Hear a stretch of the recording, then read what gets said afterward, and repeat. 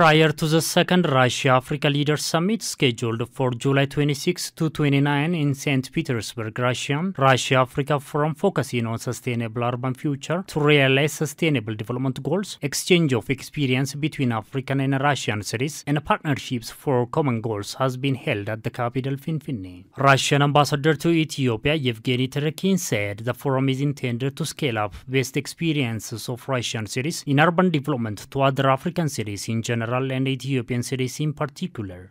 Moscow city uh, is uh, recognized as one of the best uh, world's capital cities, one of the most suitable and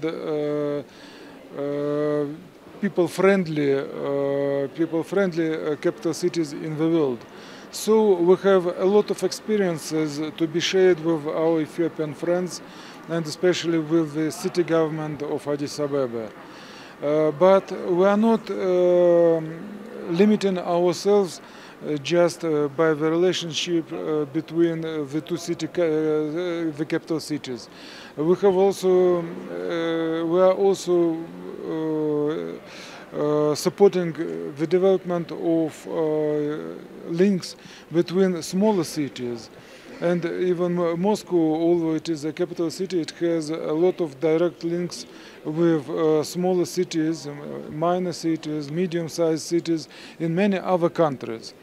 Uh, so I'm sure that uh, we are just at the beginning stage and uh, we have a good perspective uh, for the future uh, for the future cooperation uh, for the sake and benefit of the uh, inhabitants of the cities or of uh, urban population of our two countries. The ambassador stressed that the second Russia-Africa Leaders Summit, which will be held ahead, is expected to adhere multifaceted relationship and cooperation of African countries and the Russian Federation. We are going to discuss in practical terms uh, different uh, directions uh, of the development uh, of our economic uh, Uh, educational, humanitarian, uh, and other uh, spheres of cooperation. And I'm sure that this will give us a good opportunity to put a, a good fundamentals, basics for the future uh, further development uh, of this cooperation. State Minister of Urban Development and Infrastructures Fanta Dejen said Ethiopia gets lessons from Russian cities on the formation of smart cities and the public space experience among others. የስማርት ሲቲ ኮንሴፕት አለ። በተለይ ማዳማ ላይ አሁን ጀምረናል።